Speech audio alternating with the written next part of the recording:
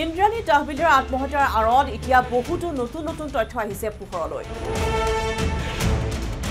আৰু ইতিমধ্যে আমি জনাইছিলোঁ যে বিজেপিৰ বহু সংখ্যক শীৰ্ষ মহলৰ নাম ইতিমধ্যে নাম সাঙুৰ খাই পৰিছিল। তাৰপিছতো কিন্তু আৰক্ষীয়ে কিয় তলব কৰা নাই এইসকল বিয়াগুম নেতাক ওপৰ মহলৰ সৈতে কথা পতাৰ কথা উল্লেখ কৰিছিল অনুৰাগ চলিহা। তেওঁ উল্লেখ কৰিছিল যে ইন্দ্ৰাণী আৰু অনুৰাগ চলিহা যিসমূহ টকা তেওঁলোকে লৈছিল তাৰ এটা অংশ ওপৰ মহলাক দিব লগা হৈছিল। গতিকে এই ওপৰ মহল কোন বা এই উদ্ধত মহলক লৈ কিয় আৰক্ষীয়ে এতিয়ালৈকে কোনো ধৰণৰ তলব দিয়া নাই তাক লৈ প্ৰশ্ন উত্থাপন কৰিছিল। আৰু এই মুহূৰ্ততে এটা গুৰুত্বপূৰ্ণ খবৰ আহি পৰিছে যে আৰু শেহতীয়াকৈ ইন্দ্ৰাণী তহবিলৰ আঁৰৰ এই ঘটনাৰ মাজতে সোমাই পৰিছে বিজেপিৰ শান্তনু পূজাৰীৰ নাম।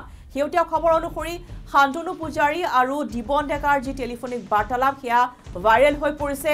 আৰু তেওঁলোকে কেনেদৰে আচলতে চাকৰিৰ নামত এখন ক'লা সাম্ৰাজ্য গঢ়ি তুলিছিল। যোৰহাটত বহি কেনেদৰে একাংশ প্ৰাৰ্থীৰ পৰা তেওঁলোকে চাকৰিৰ বিনিময়ত লাখে লাখে টকা আত্মসাত কৰিছিল। শান্তনু পূজাৰী হৈছে এ আই আই ডি চিৰ চেয়াৰমেন। তেওঁ অসম প্ৰদেশ বিজেপিৰ কাৰ্যালয়ত তত্বাৱধায়ক হিচাপে বৰ্তমান কৰ্মৰত হৈ আছে আৰু শান্তনু পূজাৰীৰ নাম বৰ্তমান চৰ্চালৈ অহাৰ পিছতেই দেখিবলৈ পোৱা গৈছে যে বিজেপিৰ আৰু বহুতো নেতাৰ নাম ইয়াতে সাঙুৰ খাই পৰিছে।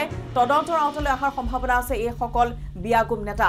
কেনেদৰে দিবন ডেকা আৰু শান্তনু পূজাৰীয়ে যোৰহাটত বহি এখন কলা সাম্ৰাজ্য গঢ়ি তুলিছিল চাকৰি বজাৰ মেলিছিল তাৰো বহুতো গুৰুত্বপূৰ্ণ তথ্য এতিয়া শেহতীয়াকৈ পোহৰলৈ আহিছে।